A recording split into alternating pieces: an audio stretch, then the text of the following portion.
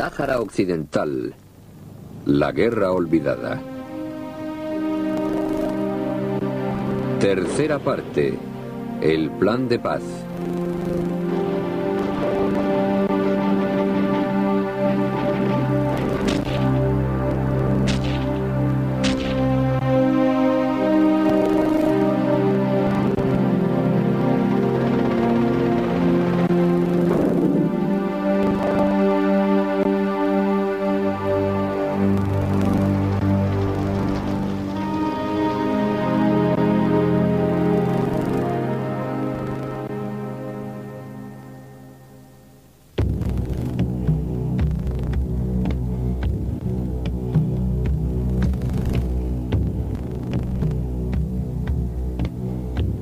Sáhara, uno de los lugares más inhóspitos de la Tierra. Esta zona del suroeste de Argelia, conocida como el desierto del desierto, es como mucho lugar de paso, pero no apto para ser habitado. El calor cae sobre ti desde arriba y al combinarse con el viento no produce una brisa fresca, sino algo así como la llamarada de un horno. En esta árida tierra, un grupo de campos de refugiados acoge a 170.000 personas. Aisladas del resto del mundo y olvidadas por los medios de comunicación, estas gentes llevan viviendo aquí desde 1975. Convoyos regulares de camiones reparten lo esencial para su supervivencia. Desde hace más de 20 años, esta comunidad de exiliados depende de la ayuda exterior.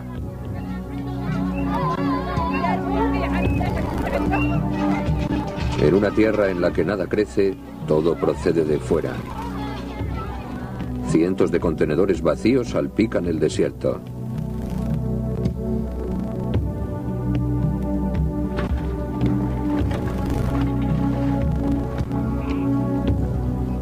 Todas las semanas las mujeres limpian los límites de los campamentos y cuidan este tramo del desierto como si de su propia casa se tratara. Pero al igual que tantos otros refugiados, Bismillah Alía sueña con volver a su país. Llevamos mucho tiempo aquí, pero no nos conformamos. Esta tierra pertenece a Argelia. Nos la han cedido hasta que seamos independientes. Tras dos décadas, los campamentos están perfectamente organizados y tienen un cierto aire de estabilidad. Los adultos jóvenes que han nacido aquí no conocen otra vida que la de una tienda de campaña para refugiados. Pero Aishatul Murabad recuerda cómo era todo esto al principio. La gente se fue cuando empezó la invasión marroquí. Todos llegaron aquí huyendo del invasor y aquí encontraron una especie de santuario.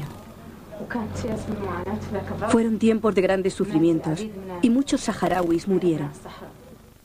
Estos saharauis proceden de un controvertido territorio situado en el borde atlántico de África. Conocido en nuestros días como Sáhara Occidental, fue la última colonia africana de España.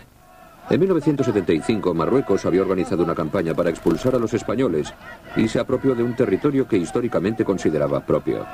La Marcha Verde se ha convertido desde entonces en un mito fundamental del Marruecos moderno. ¿Quiénes tomaron parte en la Marcha Verde? 350.000 marroquíes, hombres y mujeres, tomaron parte en la Marcha Verde. Muy bien. El Sáhara está al sur de Marruecos y era una colonia española.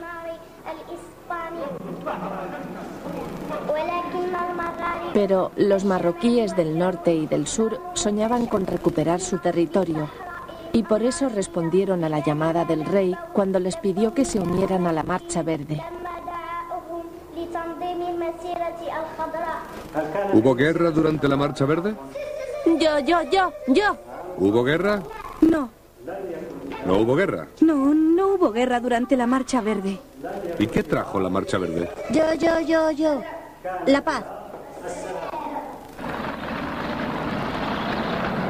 La siguiente marcha organizada por Marruecos al Sáhara Occidental fue menos pacífica. En aquella ocasión se tuvo que enfrentar a un movimiento de liberación armado, conocido como Frente Polisario, que había estado luchando contra España por la independencia del Sáhara Occidental y no quería someterse al mandato de Marruecos. El Polisario se enfrentó a Marruecos y Mauritania cuando ambos países se repartieron su territorio mediante un acuerdo secreto con los españoles. Miles de saharauis, mientras tanto, buscaron refugio al otro lado de la frontera, en la vecina Argelia. Las tácticas de las guerrillas del Polisario expulsaron a Mauritania en 1979. A continuación, Marruecos se apropió de toda la región y empezó a construir una inmensa muralla de 2.500 kilómetros de longitud, más larga incluso que la Gran Muralla China. Defendida por 120.000 soldados, la muralla tenía por objeto mantener el territorio a salvo de los ataques guerrilleros. Y en nuestros días, en los cafés de Casablanca, nadie duda de la justicia de la causa marroquí. El Sáhara es marroquí y lo seguirá siendo siempre. Estoy en contra de quien diga que el Sáhara no es marroquí. El Sáhara es un 200% marroquí. Nadie puede ceder su país, ni su ciudad, ni su hogar. El Sáhara es parte de Marruecos, tanto el territorio como sus gentes. Sus orígenes son marroquíes. Este constante apoyo de la población no ha de sorprender, porque las voces críticas con la política gubernamental sobre el Sáhara Occidental se arriesgan a ir a prisión. Para mí el Sáhara es marroquí y lo seguirá siendo siempre. Hemos luchado para conservarlo, aunque en realidad seguimos luchando por algo que nos pertenece. De modo que hemos, yo no diría malgastado, pero sí invertido mucho dinero para conservar algo que por derecho propio es nuestro. El precio del conflicto ha sido alto para ambas partes y en el verano de 1991 cada una de ellas buscaba una salida al mismo. Tras una tregua de dos años estaba a punto de iniciarse un alto el fuego decretado por Naciones Unidas. Pero ocurrió algo que vino a alimentar ciertas dudas sobre el verdadero compromiso de Marruecos con el proceso de paz.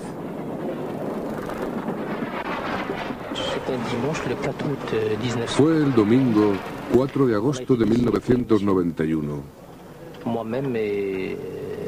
Otros 12 pilotos y yo habíamos sido elegidos para una misión que consistía en el bombardeo sistemático de una zona al sureste de Tifariti.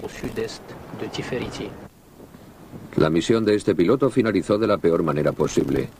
Ocho años después sigue siendo un prisionero de guerra. Su equipo destruyó las instalaciones que el Polisario acababa de construir para Naciones Unidas. Teníamos que demostrar que aunque aquellos lugares no pertenecían a nuestra zona de seguridad, seguían estando al alcance de Marruecos y que Marruecos podía llevar a cabo cualquier acción que quisiese, en cualquier momento y sin limitación alguna. Creo que aquel era el objetivo político y creo también que era el mensaje político que se nos había encargado transmitir. Dos semanas después, Marruecos envió otro mensaje, esta vez transmitido por el ejército. Hizo su aparición por detrás de la muralla y atacó. A la cabeza de aquel ataque marroquí estaba el general Abdelaziz Benani. Todas aquellas fuerzas estaban realizando maniobras al otro lado de la muralla. Yo recibí órdenes de mi superior, Su Majestad el Rey, que me dijo que tenía que reagruparme detrás de la muralla defensiva, porque Naciones Unidas iba a anunciar el fin de las hostilidades el 6 de septiembre de 1991.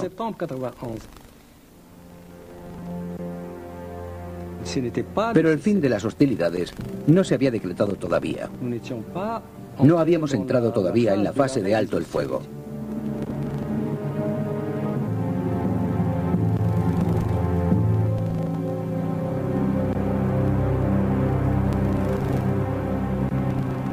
Sabíamos eh, a la perfección de que eh, el reino de Marruecos intentaba con esa escalada abortar el plan de paz antes de que entre en vigor. Entonces, eh, hemos analizado la situación y hemos tomado la decisión de no caer en esa trampa. La decisión de la dirección del Polisario de no vengar el hecho fue recibida con sorpresa por sus propias tropas, que tuvieron que presenciar cómo los marroquíes bombardeaban unas instalaciones recién construidas. Esperaba la orden. La orden no llegó eh, y se ve que era una no tenía para mí eh, y para los dirigentes eh, militares saharauis esa salida del ejército marroquí no tiene ningún objetivo militar. Era una operación de propaganda, una operación política para obstaculizar un proceso de paz. Temiendo una escalada militar, el secretario general de Naciones Unidas, Pérez de Cuellar, envió a una pequeña delegación de observadores militares a la zona. El alto el fuego entraría en vigor el 6 de septiembre. Uno de los primeros en llegar fue Albert Zapanta, jefe de la Fuerza de Observación de Estados Unidos. Por parte del Polisario fue una inmensa alegría nuestra presencia allí en aquellos momentos.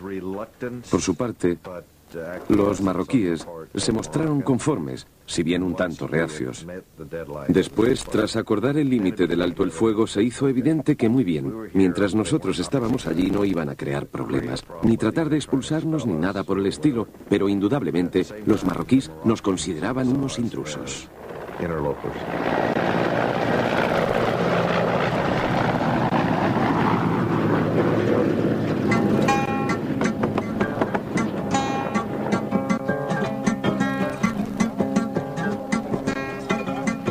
Igual que la mayoría de las refugiadas de los campamentos, Bismillah recibió con gran alegría el alto el fuego.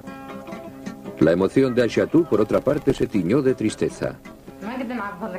No tengo palabras para expresar lo feliz que me sentí por el alto el fuego. Porque mi hermano acababa de ser martirizado. Murió en la última operación militar. Era mi único hermano y no había nadie como él. Estaba al mando de un batallón militar cuando se anunció el alto el fuego. Ojalá se hubiese producido antes de la muerte de mi hermano. Fue una verdadera pena. El cese de las hostilidades iba a ser conducido por MINURSO, es decir, la misión de Naciones Unidas para el referéndum en el Sáhara Occidental. A continuación se celebraría un referéndum en el que participarían las gentes del Sáhara Occidental para decidir la independencia o la integración en Marruecos. Minurso se responsabilizaba de garantizar que el proceso fuese libre y limpio. La presencia de Naciones Unidas en el desierto significaba para el máximo dirigente del Frente Polisario la promesa de poner fin al largo exilio de los saharauis. Teníamos puestas grandes esperanzas en que el plan de paz culminase con un referéndum libre y democrático. Así, se garantizaría al pueblo saharaui su derecho a la autodeterminación y el final de una vez por todas del conflicto. Sería el fin del colonialismo y se cumpliría el principio de autodeterminación del pueblo saharaui, algo que está contemplado en la legislación internacional. Pero la pregunta era, ¿quiénes tenían derecho a la autodeterminación? En otras palabras, ¿quiénes podrían votar? La mayoría de los saharauis son miembros de tribus nómadas, muchas de las cuales se mueven continuamente de un lado a otro de las fronteras, Así pues, ¿quiénes tenían vínculos genuinos con el territorio? Las implicaciones que encierran esas preguntas no presentan duda alguna para Driss Basri. Como ministro del Interior, era el hombre con más poder en Marruecos después del rey Hassan II. Hay dos argumentos. Por un lado está la demanda de Marruecos de restablecer la justicia y la unidad territorial. Y por otro lado está el asunto de la autodeterminación, que inevitablemente llevaría a la independencia. Estos son los dos argumentos. Es la primera vez que se va a celebrar un referéndum con dicho objetivo y es también la primera vez que nos enfrentamos a dificultades que surgen a la hora de definir un electorado de base tribal. Y Naciones Unidas no tiene la experiencia, la competencia, el conocimiento y las técnicas para llevarlo a cabo. Un censo elaborado por los españoles en 1974 contabilizaba unos 74.000 saharauis. Era la base para el recuento de población de Naciones Unidas, pero Marruecos jamás ha aceptado la validez del censo español. Está claro, podemos demostrarlo. Naciones Unidas sabe que España hizo todo lo posible para excluir a las tribus que sabía que estaban profundamente vinculadas al trono alagüita y a su augusta majestad el rey Hassan II, así como a su identidad marroquí. Por desgracia, estas tribus han quedado simple y llanamente descartadas del censo. La campaña del rey Hassan para integrar el Sáhara Occidental en Marruecos había desatado una ola de entusiasmo nacionalista. Además, era un asunto importantísimo para la monarquía, pues perder el referéndum podría costarle el trono al monarca.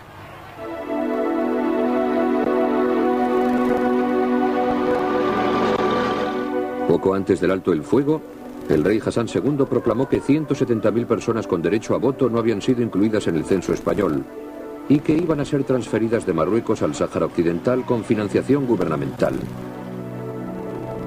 Llegaron por miles al cabo de pocos días y fueron instaladas a toda prisa en improvisadas ciudades de tiendas de campaña. Ocho años después las condiciones parecen haber mejorado algo. Los que allí habitan no parecen sentirse muy incómodos. Aquí tenemos todo lo necesario, comida, tiendas y casas. Lo tenemos todo.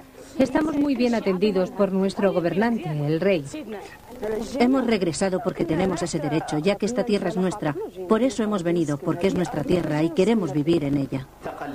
Han venido por decisión propia, libremente. No ha habido presiones de ningún tipo. La presión no existe en Marruecos. Hay total libertad. El flujo de colonos hacia la capital del Sáhara Occidental, el Ayun, molestó al alto mando militar de Minurso. Supe que cuando comenzó el traslado de personas a El Ayun y la organización de campamentos, aquellas gentes fueron incentivadas para instalarse aquí con pequeños negocios y cosas así. Y comprendí a la perfección que era una manera de inflar el voto. Aquellas gentes podían ser contabilizadas una vez que se pusiera en marcha el referéndum. Mientras los colonos llegaban a El Ayun, el rey Hassan visitaba al presidente George Bush. Estados Unidos seguiría desempeñando un papel crucial en el proceso de paz y el rey seguiría contando con el apoyo norteamericano. Formando parte del séquito figuraba Abdul Latif Filali, el entonces ministro de Asuntos Exteriores. Desde 1990 o 1991, el rey ha hecho varias visitas a Estados Unidos. Fuimos el primer país en reconocer la independencia de Estados Unidos. Y solo por mencionar la Primera Guerra Mundial y la Guerra Fría como ejemplos, diré que Marruecos ha sido siempre uno de sus más leales aliados.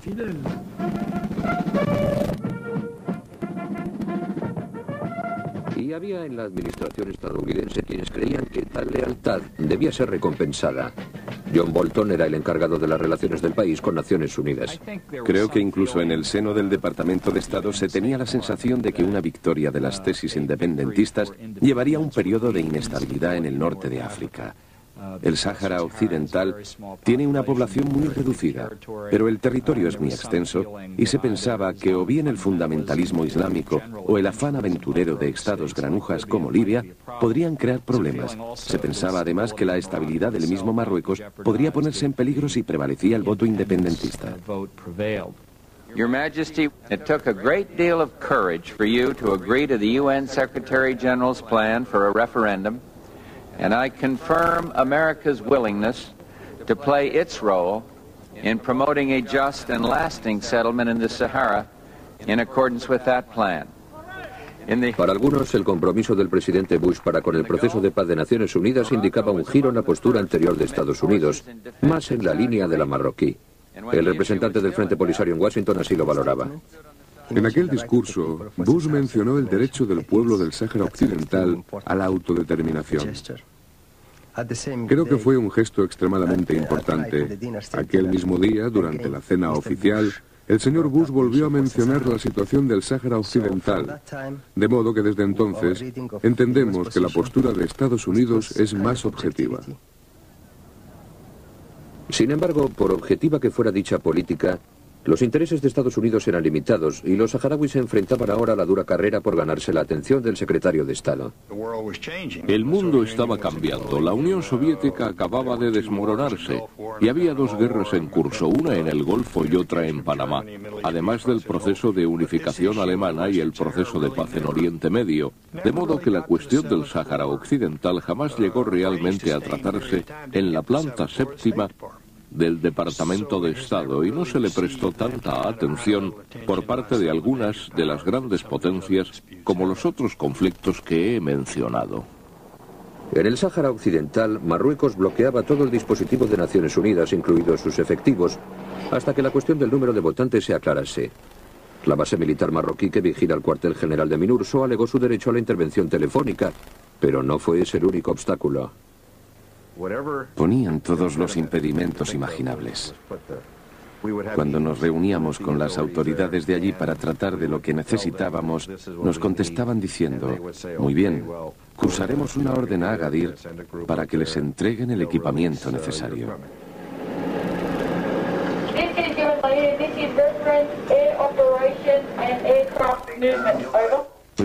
Íbamos a Agadir y entonces el responsable del puerto nos decía que no contaba con autorización para entregarnos el material o que todavía faltaba el visto bueno del ministro de Exteriores que estaba en Rabat. De modo que era todo un enorme embrollo burocrático. Jugaron de esa manera durante casi cuatro meses. Parecía que quienes manejaban los hilos del poder en Marruecos seguían una política de obstrucción sistemática con respecto a sus huéspedes de Naciones Unidas. Lo niego absoluta y categóricamente. La hospitalidad marroquí es célebre en todo el mundo. Hemos recibido el mismo trato, exactamente el mismo. Nosotros y Minurso. Y diría incluso que el suyo ha sido mejor. Pero las quejas de Minurso resultaron ser mucho menos polémicas que el informe final del secretario general sobre el Sáhara Occidental, que vio la luz a finales de 1991, poco antes de su retirada del cargo. La lista de votantes seguía tomando el censo español como punto de partida, pero Pérez de Cuellar añadió una serie de nuevas directrices que abrían el camino a la inclusión de muchos colonos marroquíes. Se celebró una reunión de urgencia de nuestra cúpula y se concluyó que, por supuesto, aquellos cambios y aquellos criterios ni eran válidos ni eran discutibles. Esa fue la reacción del Frente Polisario, el rechazo de plano de aquella interpretación, ya que ni siquiera se había consultado a una de las partes implicadas. El informe de Pérez de Cuellar fue interpretado ampliamente como una modificación beneficiosa para Marruecos. El representante especial de Naciones Unidas para el Sáhara Occidental, Johannes Mans, presentó inmediatamente su renuncia al cargo en señal de protesta y el Consejo de Seguridad despreció sutilmente al saliente secretario general. No estábamos contentos con el informe del secretario general, pero tampoco queríamos echarlo todo por la borda. De modo que básicamente dimos con los términos justos para no manifestar abiertamente nuestra aprobación ni nuestro rechazo total, para que no se volviese contra nosotros en 1992 cuando tomara el cargo el nuevo secretario general Butros Ghali. Para los refugiados, a punto de iniciar otro invierno en los campamentos, las esperanzas de un alto el fuego fueron poco a poco dando paso a la desilusión. Pensamos que en realidad Naciones Unidas no estaba colaborando con nosotros. Y eso nos llevó a acusar más aún a los marroquíes, porque verdaderamente querían acabar con nosotros. ¿Qué estaban haciendo? Pues retrasar el proceso de paz. Gloria y vida eterna a nuestros mártires y derrota y sumisión a nuestros enemigos. Un minuto de silencio por los muertos abre una reunión del Consejo en el campamento. Aishatou la preside. En primer lugar, vamos a hablar del curso escolar. Hoy es el día de la vuelta al colegio para nuestros hijos, ya sea la escuela local, regional, nacional o la guardería.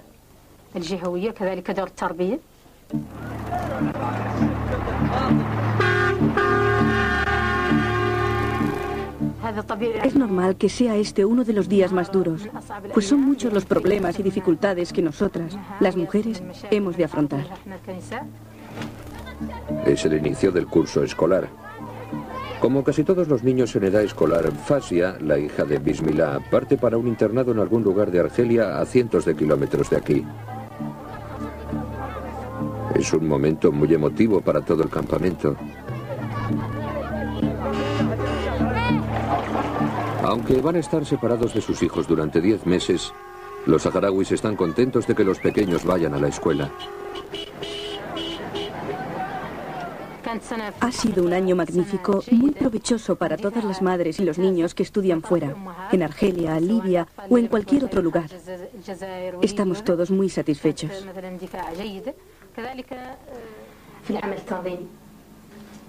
Con su trabajo, la mujer saharaui ha demostrado a las mujeres de todo el mundo que tenemos el valor, la constancia, la decisión y la capacidad para continuar con la lucha y para resistir, pese a las dificultades a las que nos enfrentamos a diario. sobre todo al increíblemente duro entorno en que vivimos. Los hombres no están aquí, están en el frente. Son las mujeres las que han de encargarse de todo. El servicio militar es obligatorio para todos los hombres de los campamentos que después siguen disponibles en la reserva por si es necesaria su colaboración.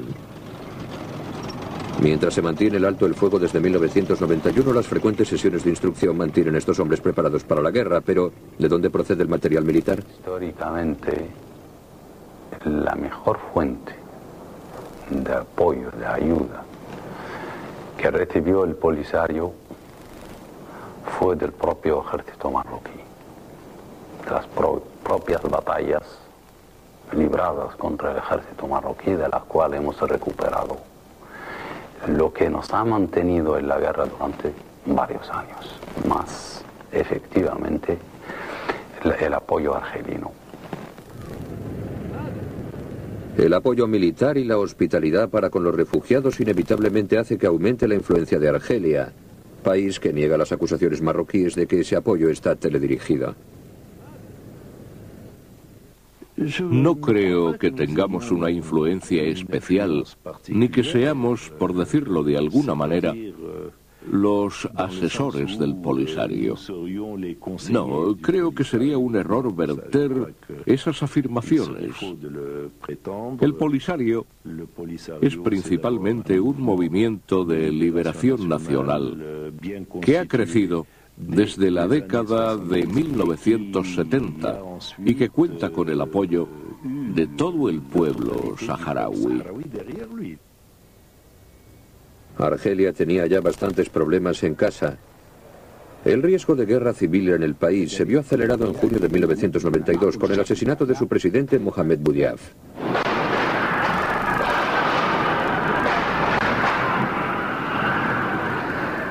Mientras muchos sospecharon de la seguridad militar, el magnicidio fue atribuido a los islamistas. La consiguiente campaña de coches bombas y matanzas de civiles fue respondida contundentemente por las autoridades militares. Pero la actitud que Argelia siempre había mantenido con respecto al Sáhara Occidental siguió igual de firme pese a la escalada de problemas internos. Nuestra política interior depende de nuestra propia capacidad para resolver nuestros asuntos y en ese sentido no afecta a nuestra política exterior. En Argelia no hay nadie que esté en contra de este punto de vista.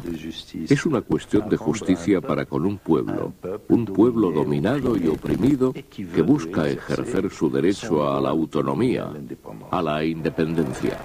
En las calles de Argel el apoyo al Frente Polisario parece seguir siendo igual de firme. El pueblo saharaui tiene derecho a su libertad, a reclamar su territorio y a volver a él. Y como argelinos lo hemos defendido y seguiremos defendiéndolo. La gente que defiende su causa merece la independencia. Así es. Las urnas son la respuesta. Si ellos deciden seguir bajo el rey, pues bien, será su decisión. Todo el mundo vive por su libertad. Es así. El mundo existe y eso es libertad. El Sáhara Occidental es una nación que necesita ayuda, pero el rey de Marruecos, Hassan II, no quiere entender que esa tierra no es suya. Se olvidan de un pequeño detalle que es extremadamente importante. La soberanía sobre esas tierras no es negociable. Y solo podemos ver una salida, la integridad territorial. En el territorio de la discordia, Naciones Unidas estaba intentando crear una unidad especial para identificar a las personas con derecho a voto en el referéndum. Eric Jensen, responsable de la comisión de identificación, era plenamente consciente de todas las dificultades que le aguardaban. El problema fundamental aquí es que nos enfrentamos a un referéndum que supone una situación en la que el vencedor se saldrá con la suya. Es decir, se trata de la integración total o de la independencia total. No caben términos medios.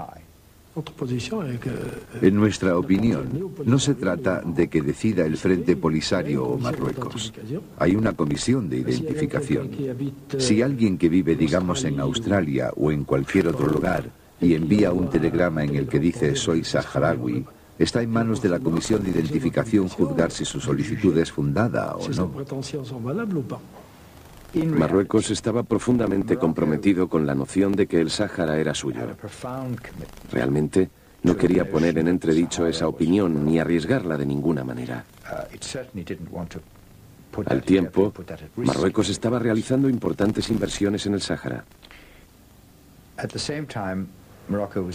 Creo que existía una sensación general de que cuanto más tarde tardase el proceso, más les beneficiaría.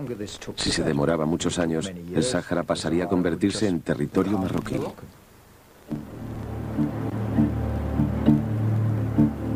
Recientemente ha sido inaugurado un centro médico de especialistas en el Ayuni, Marruecos, que ha destinado fondos a otros proyectos como esta planta desalinizadora.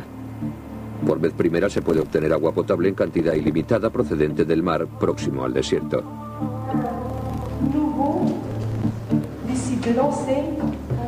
En otro punto de la capital, en esta escuela secundaria piloto, los niños utilizan nuevas tecnologías y reciben una formación basada en el sentimiento nacionalista marroquí del Sáhara Occidental. Tal actitud era aparentemente compartida por el nuevo secretario general de Naciones Unidas. Butros Butros Ghali viajó a la región en junio de 1993 para tratar de alcanzar un compromiso en torno a las condiciones que debían reunir los votantes. Pero Mohamed Ul Haddad recuerda lo vacilante que se mostró a la hora de reunirse con el Polisario en su territorio. Se mostraba muy reacio a visitarnos, a venir a los campos de refugiados. Y tuvimos que ir dos veces a Tinduf a convencerle de que si quería hablar con el Polisario, pues bien, el Polisario estaba en los campamentos de los refugiados. El secretario general finalmente visitó los campamentos y su diplomacia demostró ser altamente eficaz. La cúpula del Polisario logró ser persuadida para aceptar unos criterios polémicos. Su actitud fue criticada y considerada una venta por muchos de los refugiados, entre ellos Bismillah Alia. Realmente no me alegré de que el Frente aceptara las condiciones. Aquello no me gustó. Pero me lo explicaron y al final acepté porque creí que ayudaría a demostrar que habíamos cooperado con Naciones Unidas en caso de que el plan de paz fuese posteriormente bloqueado por alguna razón. La gente finalmente empezó a inscribirse en los centros de identificación en agosto de 1994, es decir, más de dos años y medio después de la primera fecha marcada para el referéndum. Hoy día comenzamos a identificar a las personas que van a votar por el referéndum en el futuro del Sahara occidental. Los posibles votantes llegaban de toda la región. El proceso burocrático tuvo su lado emotivo y humano cuando personas separadas desde hacía mucho tiempo por la guerra se volvieron a ver por primera vez después de 20 años. Mis tías y mis primos estaban allí, pero lo más importante fue ver de nuevo a mi madre y a mis hermanos y hermanas. Todos ellos estaban en la puerta de la oficina. Durante el descanso era cuando podías reencontrarte con tus familiares. Y allí estaban todos. La reacción de aquellas personas al verse de nuevo fue extraordinaria. Hubo desmayos y gritos de júbilo. Formaban todos un solo pueblo y aquella alegría nada tenía que ver con una ideología política. Solo querían estar juntos. Le dije al funcionario de Naciones Unidas que eran mis familiares y que quería verlos. Fue a pedir permiso, pero los marroquíes le dijeron que no, que me fuera, que ellos eran ciudadanos marroquíes, que no querían verme y que yo no era su hija. Mi madre estaba impedida y muy debilitada. Pobrecita. Se cayó al suelo al ver lo que estaba pasando. Mis hermanas empezaron a rasgarse las ropas y a tirarse del pelo. Marruecos era una verdadera mafia. Los marroquíes eran auténticos gángsters. Actuaron de forma cruel, mientras que el Polisario hizo lo que se le... Empezaron sobre las 7 de la tarde, al final del día. Venían verdaderos ríos de agua por todas partes.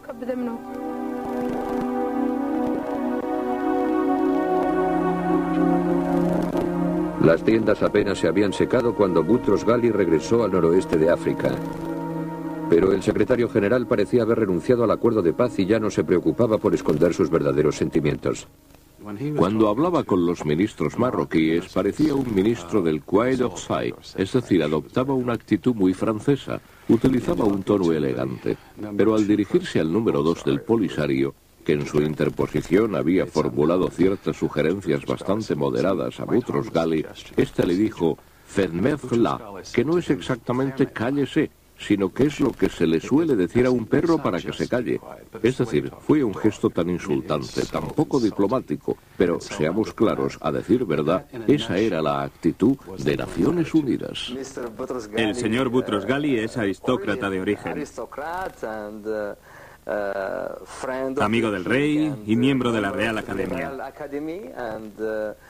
Es decir, el típico personaje que no concibe que un reducido número de nómadas pueda desafiar al monarca todopoderoso de un país de 26 millones de habitantes. Para él es algo inimaginable. De modo que cuando llega aquí ve el desierto donde no hay nada y se pregunta cómo es posible que después de más de 20 años estas gentes sigan desafiando al rey. No entiende nada. No entiende que es un problema cultural. Pues sí, Butros Gali es ese tipo de persona. En Washington, los fracasos de Naciones Unidas fueron presentados ante una subcomisión del Congreso por el rebelde Frank Roddy. Al regreso del Sáhara Occidental utilizó un lenguaje muy directo en su valoración de la situación. Lo que hice fue limitarme a verter mis impresiones de lo que vi como miembro de una misión de Naciones Unidas. Y el cuadro no era precisamente bello. Creo que aquel hombre era el instrumento de algún grupo de presión extranjero o algo así. Realmente estoy convencido de ello. En aquellos momentos no era visible ni el más mínimo rastro de la independencia de Naciones Unidas. Era vergonzoso, totalmente indignante. Pero lo cierto es que no se hizo nada al respecto. Mintió a su país y equivocó a la opinión internacional.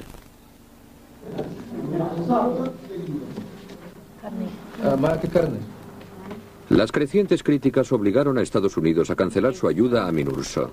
Era una operación de paz muy costosa que parecía estar logrando muy pocos resultados. Trabajábamos en circunstancias muy difíciles. El proceso se detenía, titubeaba, aunque nosotros logramos que siguiera adelante. Pero a finales de 1995 estaba claro que no podíamos continuar. Para entonces, el Polisario había adoptado una postura muy firme al negarse a participar en la identificación de tres grandes grupos de población. La sociedad saharaui se divide en un total de 88 subgrupos tribales. Cada uno de ellos se compone de extensas familias, la mayoría de unos 100 miembros. Todos esos subgrupos, salvo tres, habían sido aceptados por Marruecos y el Polisario como vinculados por tradición al Sáhara Occidental. Comprendí que estábamos a punto de lograr un acuerdo con respecto a 85 de los 88 subgrupos. Pensé que aquello era importante, pero fue mucho después, al tener todas las cifras y el cómputo de todo el electorado, cuando me di cuenta de que aquellos tres subgrupos que provocaban el desacuerdo sumaban un total de 60.000 personas. Para el monarca marroquí, aquellos tres grandes subgrupos eran sumamente importantes porque creía que podía confiar en su tradicional lealtad. Lo esencial es dejar que las tribus hablen y que cada persona pueda elegir entre las dos opciones. Marruecos está segura de que la respuesta será clara. Estas gentes están profundamente vinculadas a la unidad del reino.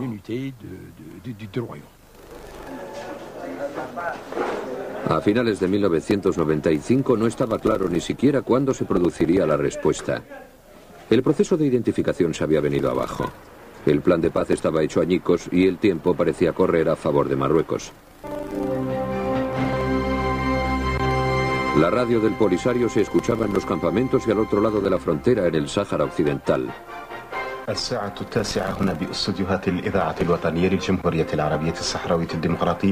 Durante los años transcurridos desde el alto el fuego, los saharauis la han utilizado para enviar mensajes cifrados.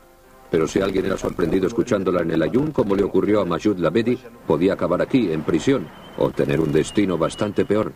Me detuvieron por escuchar la radio. Me propinaron un tipo de tortura que llaman el avión y que consiste en unas barras de hierro que colocan así, ¿comprende?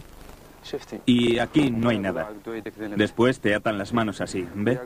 Te atan los pies y después te pasan una barra de hierro por detrás de los hombros para poder colgarte. A continuación vienen dos personas. Cada una de ellas toma un extremo de la barra y tú estás en medio. La colocan sobre otras barras. La ponen así, para que te quedes colgado.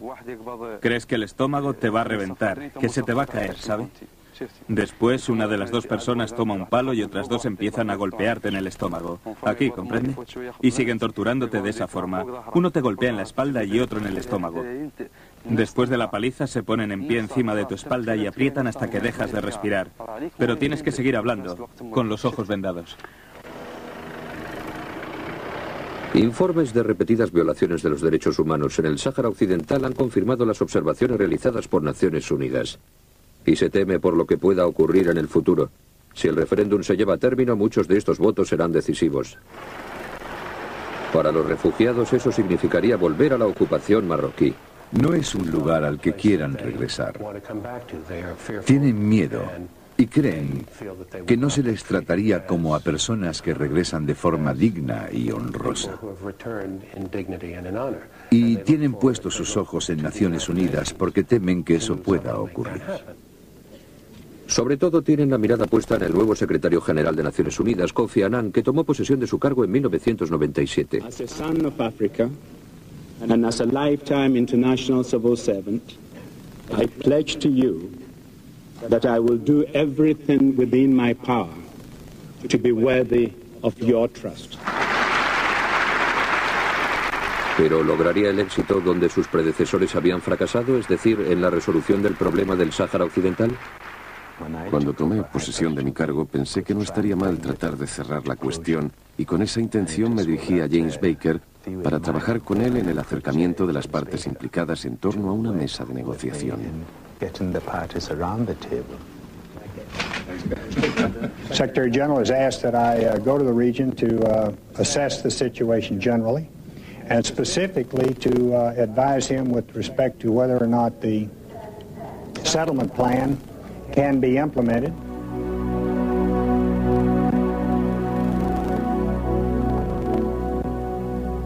Quien haya estado en los campamentos se habrá emocionado ante la dimensión humana y las privaciones que esas gentes sufren. Por otra parte, mi trabajo no me permite dejarme llevar por la emoción ni la dimensión humana de cualquier problema concreto. Mi función es tratar de hacer que las dos partes se avengan a resolver los problemas que han evitado un avance de las dos posiciones hacia la resolución del conflicto en los ámbitos político y diplomático. El recibimiento que se ofreció a Baker durante su visita dejaba a las claras la esperanza que su presencia levantó en los campamentos. Formé parte del comité de bienvenida el día que llegó y me alegré al descubrir que era un hombre de acción. Ha sido capaz de trazar un plan satisfactorio para nosotros. La conclusión del señor Baker es muy clara. Tenemos dos partes que se amoldan al plan de paz, es decir, que lo aceptan, pero existen sin embargo ciertas diferencias. ¿Cómo resolverlas, pues? La única respuesta era la negociación. El primer objetivo de Baker era lograr que las dos partes se reunieran en su Instituto de Estudios Políticos de Houston, Texas. Aún así, no se hacía demasiadas ilusiones dadas las inevitables dificultades que se presentarían. Of course, it's uh, it's a lot easier to get a, to agree to do certain things sometimes than it is to do them. So the proof of the pudding will be in the eating. Un análisis de sus diferencias logró que las dos partes expresaran sus puntos de vista con respecto a las interpretaciones del acuerdo. Creo que el resultado fue un acuerdo muy aceptable. Hicimos concesiones en todos los aspectos.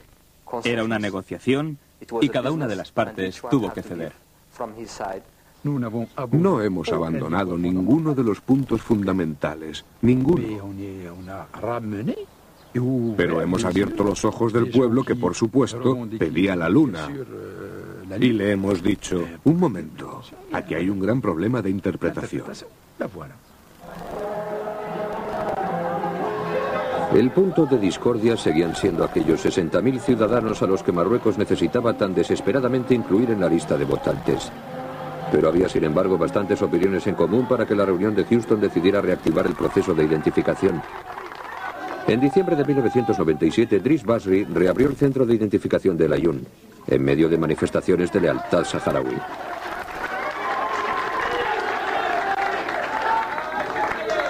Sin embargo, las limitaciones de Houston no tardaron en ponerse en evidencia. Las dos partes alcanzaron un acuerdo por el que el gobierno de Marruecos no patrocinaría directa o indirectamente ni ayudaría a los miembros de aquellas tribus a presentarse para su identificación. Y fue así que el Polisario creyó que no se produciría una avalancha de votantes.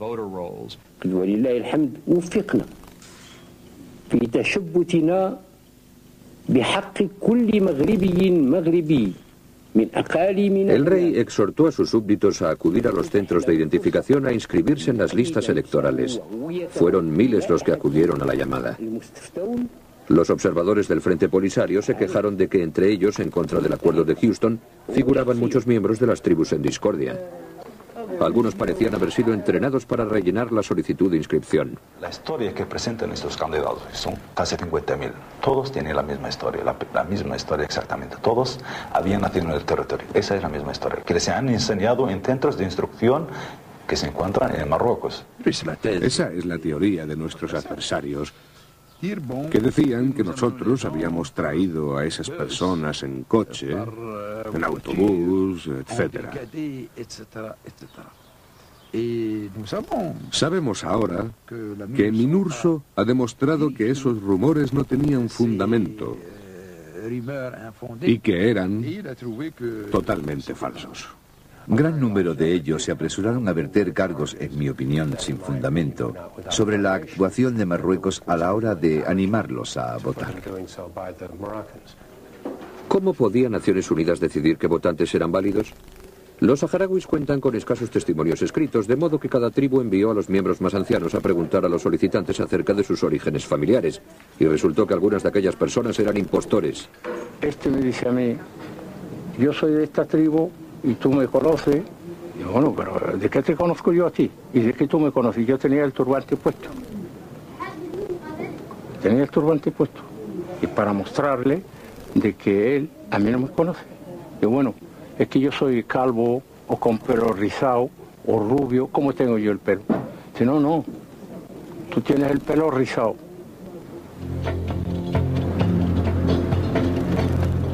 El jeque Yadi y otros ancianos del Polisario fueron trasladados desde los campamentos hasta el territorio ocupado.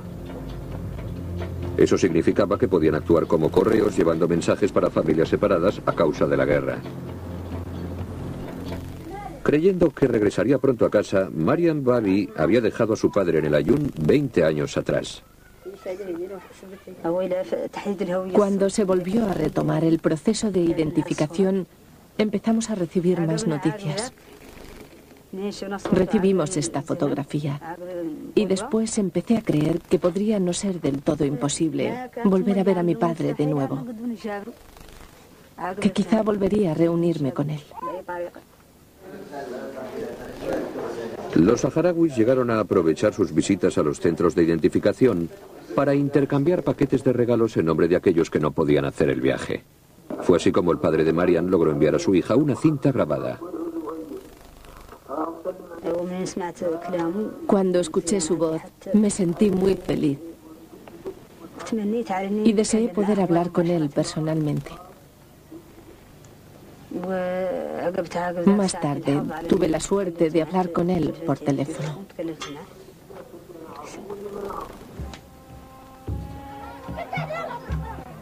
Mariam esperaba poder abandonar pronto el campamento para ver a su padre, pero el tiempo jugaba en su contra.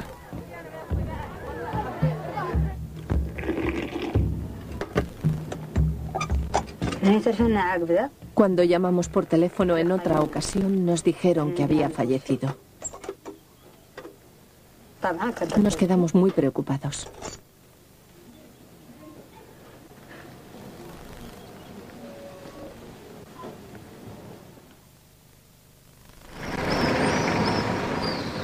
La Asamblea Nacional de Marruecos parece ser un foro democrático, pero sigue prohibido cuestionar la política en torno al Sáhara Occidental. Así pues, no se produjeron grandes sorpresas con la llegada del nuevo gobierno socialista encabezado por Abderrahman Yousefi. Por vez primera se ha producido un cambio de gobierno en este país. Pero si alguien espera cambios en la política a seguir con respecto al Sáhara Occidental, fruto del cambio de gobierno, está totalmente equivocado. La política de línea dura en ambas partes es lo que se encuentra Kofi Annan en su primera visita a los campamentos a finales de 1998. El prestigio de su cargo está en juego y es la última esperanza que le queda a los refugiados. Aisha Tu está especialmente encantada de verle aquí. Como ciudadana saharaui, no tengo palabras para expresar lo que significa la visita de Kofi Annan. Ha venido a ver con sus propios ojos la enorme diferencia que existe entre los marroquíes y los saharauis. Friends, this is a crucial time for our efforts in Western Sahara. On both sides already know that we cannot stay here indefinitely, no matter how willing we may be to help them resolve their differences. Como ciudadana, ahora siento que Kofi Annan nos ha visitado. Que mis sueños de alcanzar la independencia se harán realidad. Nosotros tenemos la conciencia tranquila porque sabemos que tenemos toda la razón de Dios. En los territorios de la discordia, los súbditos del rey ofrecieron al secretario general un tumultuoso recibimiento. Pero, ¿cuál sería el que le brindaría el monarca? ¿El hombre realmente importante en todo el conflicto? En mi último informe he reunido un paquete de cinco medidas para acelerar el proceso. Ayer me alegró saber que por parte del Polisario el acuerdo sigue adelante. Por su parte, los marroquíes han pedido algunas aclaraciones y formulado ciertas preguntas que en estos momentos estamos debatiendo conjuntamente. La estrategia de los marroquíes es siempre la de obstaculizar, porque están convencidos de que un referéndum limpio y libre no lo van a ganar. La única estrategia que aplican es la del retraso del proceso una y otra vez. Durante varios meses, Marruecos retrasó el proceso antes de aceptar en lo esencial el paquete de Kofi Annan. Al sugerir una nueva fecha para el referéndum en julio de 2000, parecía querer dar carpetazo al asunto del Sáhara Occidental. Sucede que debido a ciertas complicaciones diplomáticas con nuestros aliados y a que Marruecos ha sido la víctima de ciertos malentendidos, lo que está ahora en el ambiente es que hace falta un referéndum para confirmar nuestra soberanía. Y esta confianza se refleja en el Frente Polisario, pero con una amenaza. Somos optimistas del resultado que sería a nuestro favor. Pero en caso que la, la cuestión retrocede y que no vaya a nuestro favor, nosotros tenemos que luchar hasta el último. Nos involucramos en este tipo de situaciones para trabajar con las partes interesadas y lograr un acuerdo definitivo. Nuestro éxito y eficacia con frecuencia depende de la cooperación y la voluntad de las partes afectadas.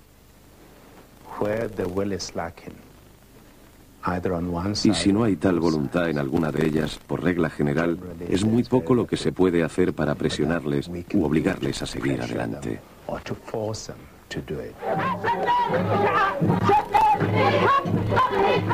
Mientras Kofi Annan ejecuta la danza de la diplomacia, los saharauis han de continuar adelante. Siguen resistiendo y adaptándose con total entrega a su exilio en el desierto, pero el paso del tiempo convierte lo provisional en permanente. Un nuevo hospital muestra en toda su dimensión el dilema de estos refugiados. ¿Pasarán estos niños sus vidas en los campamentos, al igual que lo han hecho sus madres? Hay ya una segunda generación de niños refugiados cuyos padres jamás han visto su tierra. Aishatou fue una de las primeras mujeres que dio a luz en los campamentos. Su hija Dagna ha pasado los 22 años de su vida en calidad de refugiada y no le queda otra opción que soportar esta situación. Mi madre ha sufrido más que las madres de otros. Mis tíos de aquí y de allá, mis primos, mis vecinos han muerto como mártires de la guerra. Y a mí me afecta toda esta realidad porque la he vivido. Por tanto, mi corazón no me permite elegir otro tipo de vida, por muy triste y penosa que sea. Prefiero la tristeza y la miseria a una vida en principio más feliz, pero lejos de mi país y de mi tierra. Hay quienes han dicho que quizá ha llegado el momento de que Naciones Unidas se dé por rendida, pero yo no comparto ese punto de vista. Si decidiéramos irnos de aquí y retirar nuestras tropas, no sé qué podría ocurrir al día siguiente. Quizá volverían a hablar las armas.